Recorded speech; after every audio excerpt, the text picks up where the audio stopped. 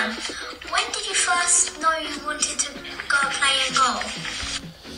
I first knew I wanted to play in goal when I was about seven years old, playing for my local team, Pegasus. Um, we stood there one Saturday morning in a circle, and the manager said, "Who wants to play in goal?" Uh, no one chucked their hand up apart from me, so that was me, and I've never looked back since. Never ever scored a goal. Just try and keep them out of the other end. Number two, what is your most memorable? Memorable save? Um, my most memorable save for Charlton is probably in the youth team when I was 17 years old in an FA Youth Cup match versus Leicester at Welling United. I made a penalty save in the 80th minute to take it to extra time, and then we scored a winner in extra time.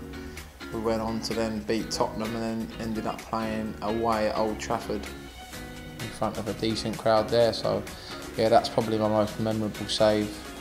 Made a couple of okay ones this year, I suppose. Hopefully, there's a few more to come. Um, but yeah, that's my most memorable save. Number three, who is your best friend on the Charlton team?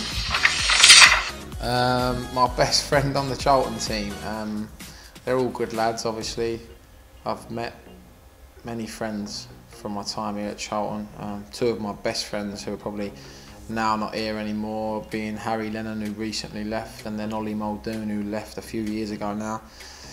Um, but at the moment, I've probably known Chris Solly the longest, and we room together now, so I'll probably say Souls.